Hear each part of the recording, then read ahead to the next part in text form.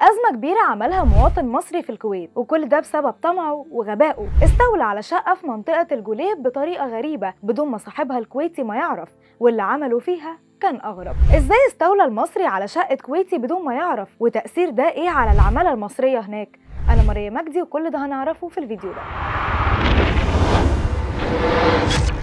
كل ما الأمور تستقر وتهدى شوية تطلع حاجة جديدة تبوظ الدنيا على العمالة المصرية في الكويت. يعني مش كفاية صفاء الهاشمي والنواب الكويتيين اللي مش عايزين خالص عمالة مصرية هناك. يجي الدور على واحد مصري يعمل حركة بكل غباء ممكن تأثر على العمالة المصرية كلها هناك. أول امبارح تقريبا أعلنت السلطات الكويتية القبض على شخص مصري مقيم في منطقة الجوليب الكويتية. المصري ده عمل حاجة علم بيها على كل الكويتة وحرفيا خلت في حساسية بينهم وبين العمالة المصرية. المصري ده استولى على شقة غير مسكونة في المنطقة دي اللي مملوكة لمواطن كويتي وفضل قاعد فيها لشهور. والأكتر من كده إنه أجر كام أوضة فيها لمصريين وعمال تانيين. كل واحد باليوم. يعني لو أنت في الكويت ومش لاقي مكان تسكن فيه كنت هتروح لأخينا المصري ده وهو يدبر لك غرفة في الشقة وكأنها بتاعته يعني. ويحاسبك عليها كمان بالدينار. شفتوا البجاحة؟ الواقعة بالظبط وزي ما بتحكيها إدارة التفتيش الكويتية المنزل اللي عليه المشكلة ده كان مؤجر في الأصل لشركة ما. علشان تسكن فيها عمالها وانتهى العقد معاهم قبل 3 شهور. وبالصدفة المواطن الكويتي كان رايح يشوف شقته ويطمن عليها. اتفاجئ بإن باب الشقة الرئيسي مفتوح. ولما دخل جوه شوية شاف واحد غريب في واحدة من الأوض.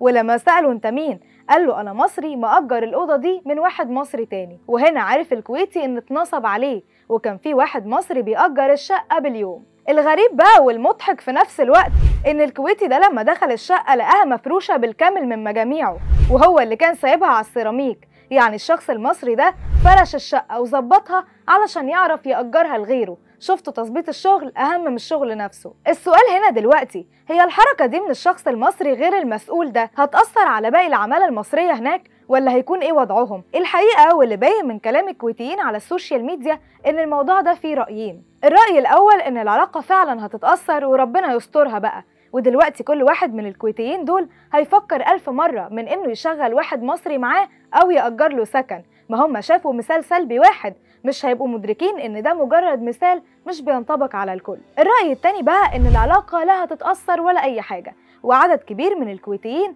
شافوا إن اللي حصل ده ممكن يحصل من أي حد ومش شرط يكون مصري والشخص المصري اللي نصب على الكويتي في الشقة لا يمثل إلا نفسه بس وباقي العمالة المصرية هناك ملهاش ذنب.